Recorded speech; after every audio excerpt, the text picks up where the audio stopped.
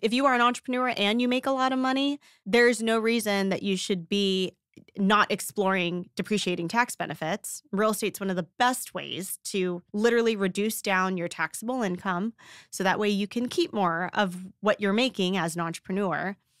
Secondly, there's really no other asset aside from maybe some unicorn company that is built where you put in your initial investment and then it just simply appreciates and grows over time.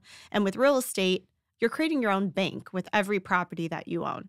Now you have this teeny tiny little bank that has an address attached to it that you can borrow money from shove back into a business or start a new business, it, it, it, creates this nice little pocket for you that I think even a business is, is hard to do. Even if you have a nice, lovely cash flowing business that makes millions of dollars a year, you still may have volatile months. You still may have ups and downs. And with real estate in general, it's super steady.